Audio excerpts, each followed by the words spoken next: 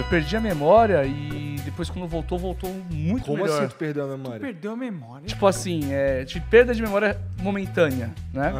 Mas, cara, hoje eu lembro de, tipo, coisas de praticamente bebê. Mas o que, Muito que, o que bem. que tu lembrava ainda? Tu lembrava tua mãe, teu pai? Tipo. Melhor não contar toda a história, né? Deixa eu lá. Mas enfim.